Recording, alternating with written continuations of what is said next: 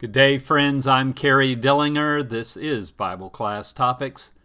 We have a topical study for you today, and it's entitled Christian Disappointments. Specifically, we want to talk about disappointments that new Christians face.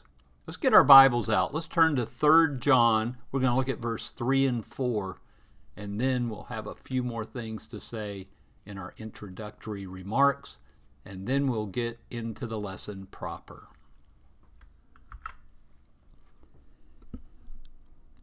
The Apostle John wrote in 3 John verses 3 and 4 For I rejoiced greatly when the brothers came and testified to your truth, as indeed you are walking in the truth.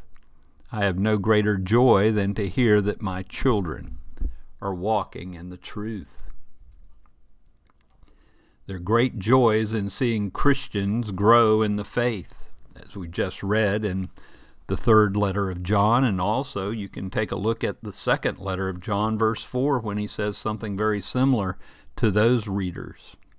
Unfortunately, not all Christians grow as they should, especially new Christians. Problems and disappointments can overwhelm them, and some will fall away. This should concern us because Christians are responsible to those who are young in the faith. Listen to Paul in Romans 15, verses 1 and 2. We who are strong have an obligation to bear with the failings of the weak and not to please ourselves. Let us, each of us, please his neighbor for his good to build him up. He wrote to the Galatians in chapter 6, verses 1 and 2 Brothers, if anyone is caught in any transgression, you who are spiritual should restore him in a spirit of gentleness. Keep watch on yourself, lest you too be tempted. Bear one another's burdens, and so fulfill the law of Christ. Today's lesson is intended to help us understand and deal with some disappointments that the new Christians face in their spiritual lives, and of course, in their daily lives as well. Because once we become Christians, those two lives, our daily lives and our spiritual lives, are inextricably linked. Let's start with disappointment in themselves. That's a dis- those are disappointments that new Christians often face. Do you remember when you became a Christian? It was a time of great excitement. We think about some of the conversions in, in the book of Acts, and we see that there is some excitement involved. We think about Lydia and her family. We think about the Philippian jailer and his family. We think about Cornelius and his family. But for straight up excitement, I think we can see it best in the case of the Ethiopian eunuch and his conversion in Acts chapter 8, verse 39. And when Philip and the eunuch came up out of the water, the Spirit of the Lord carried Philip away, and the eunuch saw him no more, and he went on his way rejoicing. When we first become Christians, we enjoy the forgiveness of sins the chance to start over in the new relationship with our Savior. But we discovered that temptations are as strong as before, and sometimes they're even stronger as the devil tries to snatch us out of the hand of God. This easily discourages many new Christians. Jesus in Luke chapter 8, verse 13, is discussing the parable of the sower. The seeds are sown, and the gr- different ground has accepted the seed or rejected the seed. And he says the ones on the rock are those who, when they hear the word, they receive it with joy. But because they have no root, they believe for a while, and in the time of testing, fall away. How can we help? How can we help our new brothers and sisters in Christ? Well, first of all, we need to remind them that change is ongoing. That takes us to Romans chapter 12, verses 1 and 2. Paul said, I appeal to you, therefore, brothers, by the mercies of God, to present your bodies as a living sacrifice, holy and acceptable to God, which is your spiritual worship. Do not be conformed to this world, but be transformed by the renewal of your mind, that by testing you may discern what is the will of God, what is good and acceptable and perfect. In his letter to the Colossians in chapter 3, let's take a rather lengthy reading of verses 5 through 11. Paul, once again, is the writer of this letter. And he says, Put to death, therefore, what is earthly in you sexual immorality, impurity, passion, evil desire, and covetousness, which is idolatry. On account of these, the wrath of God is coming.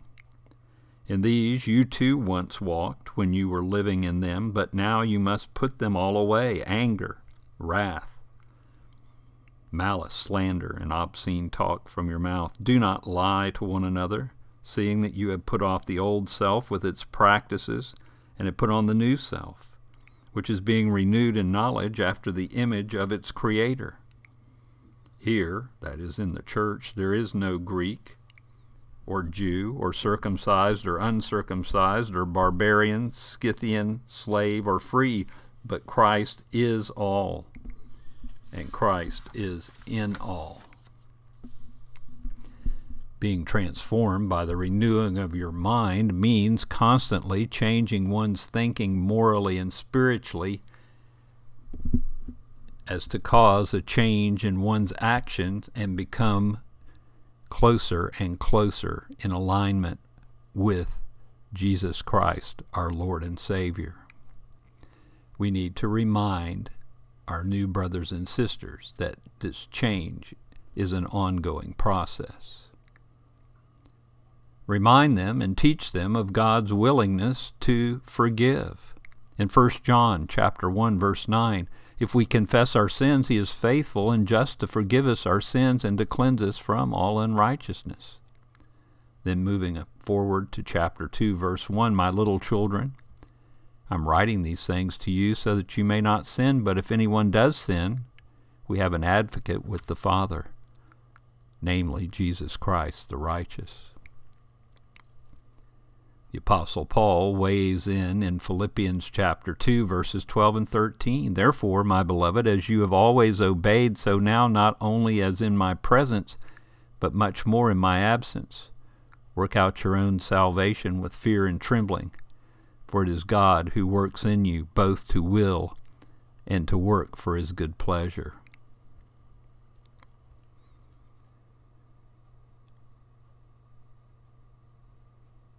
Finally, we can help our new brothers and sisters in Christ set aside the disappointments they may have in their own lives by laying aside the sins which constrain us.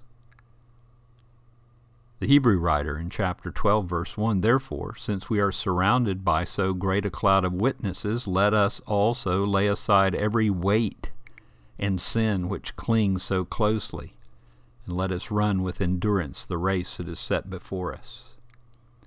All of these things will be helpful to the young Christian as they begin their life with Jesus Christ. The young Christian is liable to be disappointed with the other Christians there might be disappointment in the brethren that they meet.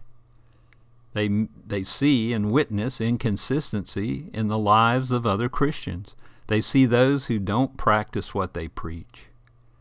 It hurts when they see a lack of faith in those they respect. Unfortunately, this is not a new problem in the church.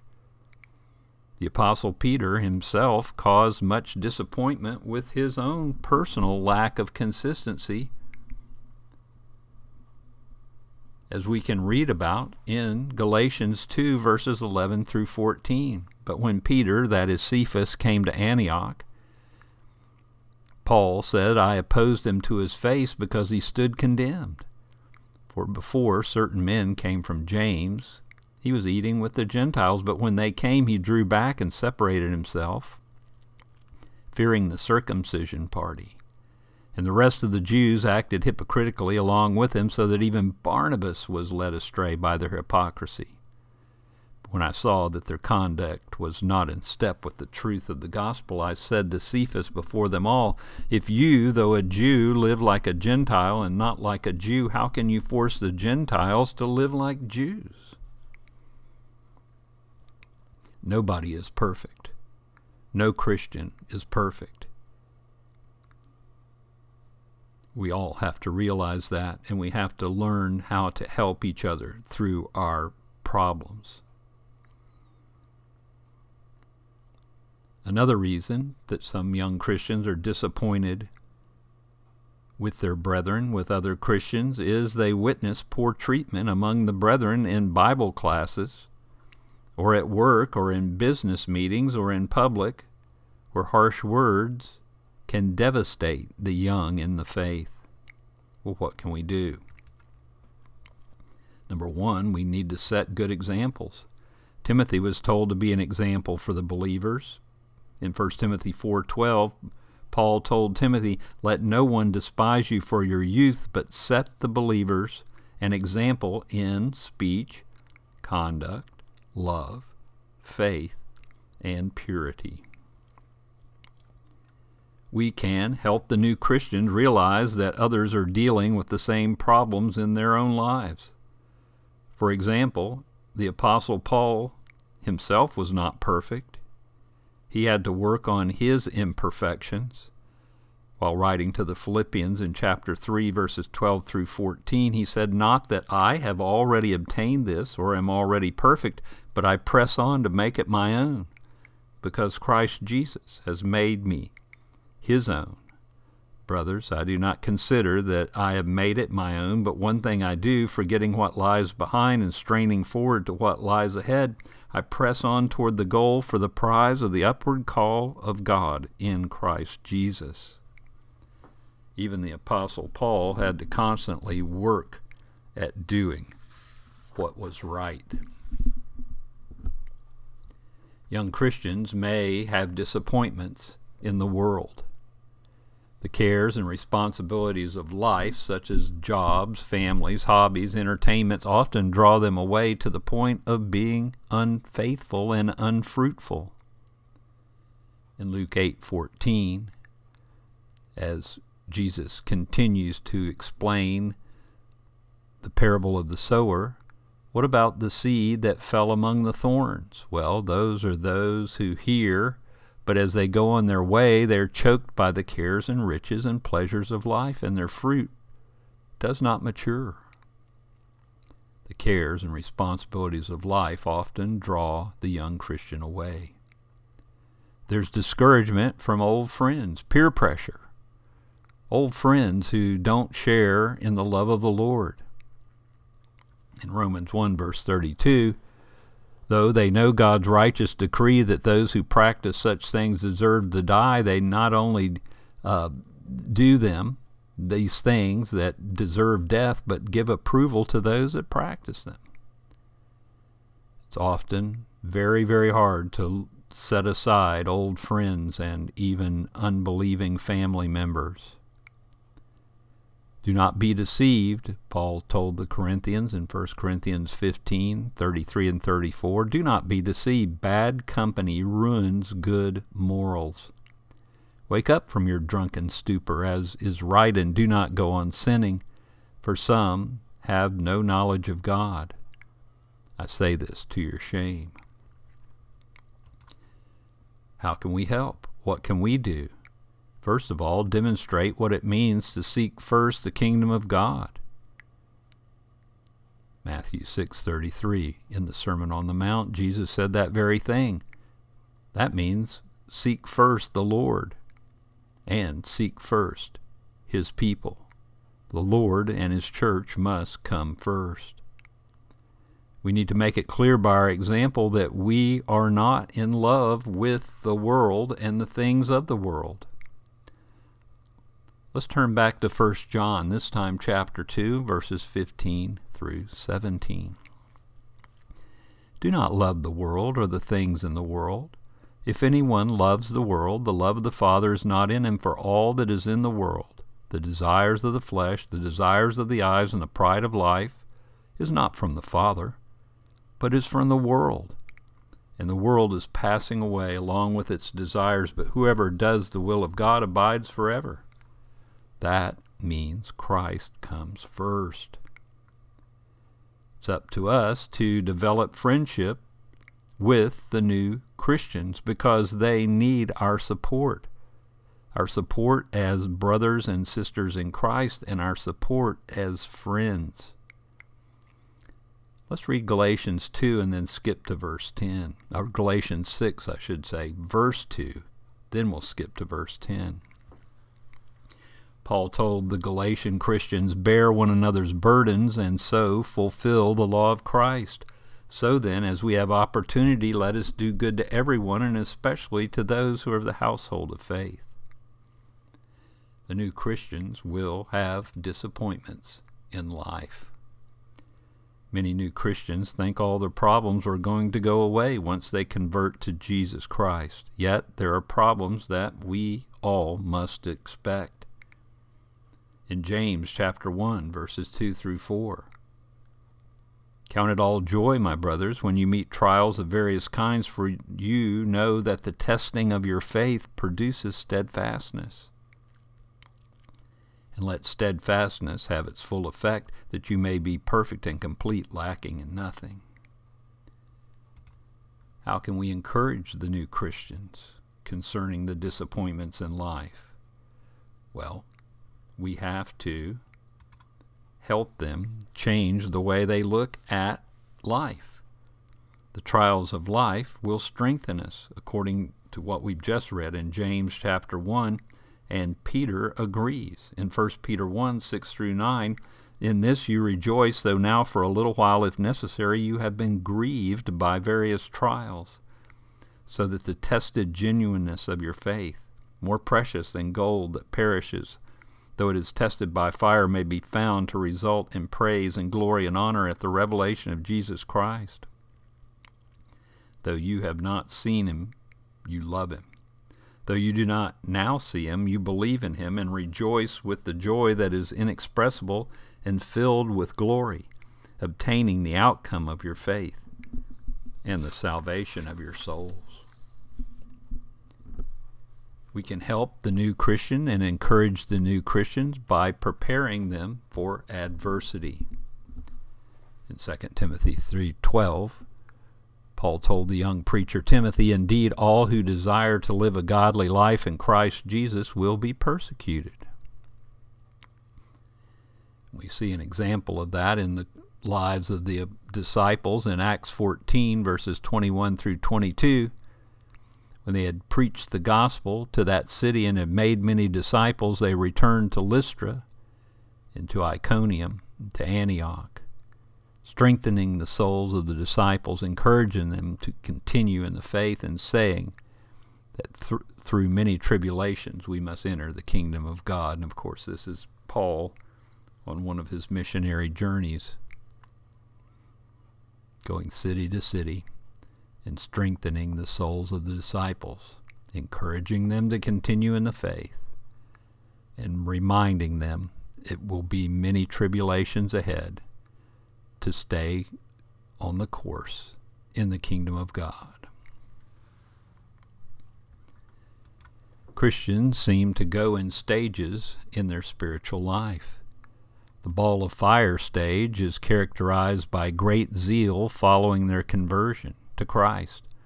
The reality stage is when the disappointments we discussed in this lesson seem to set in. Then comes the do or die stage, and that is where they move beyond disappointments, perhaps become complacent and apathetic, become the ones that are sometimes called the pew warmers, or even fall away. The steady as you go stage is where growth is constant and progressive.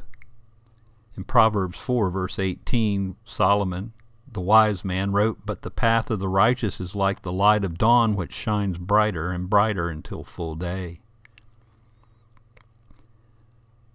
For new Christians to reach this stage in life, for old Christians to maintain this stage in life, we must continue to grow steadily, and we must have realistic expectations.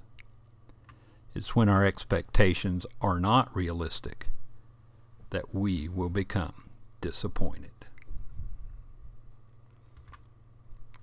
Thank you for studying with me today. We certainly appreciate you staying to the end of the video. And we need to give some thank yous to, first of all, the Battle Creek Church of Christ for posting this outline on their website. I'll put a link to that in the description below. And photo today that we use to show disappointment is from Monstera Production over at Pexels.com. Let's pray for one another. And of course, in a lesson like this, we need th those of us that have been Christians and are Christians for quite some time need to keep the new Christians at the top of our personal prayer lists. So we're praying for one another. We're praying for this world that we live in. We hope to be back with you in just a few days with another video. Until then, may God bless.